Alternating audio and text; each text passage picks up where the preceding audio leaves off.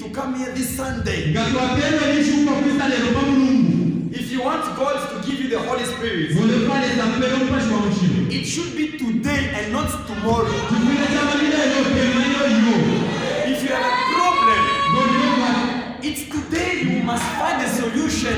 nilelo linosanga ubasiko Don't think now, okay, even if God doesn't heal me today, he can heal me tomorrow.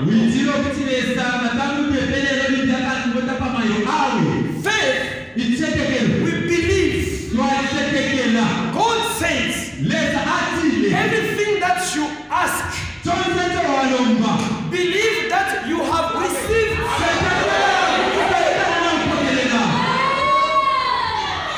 Don't have that prayer of Pentecost. No, God, I pray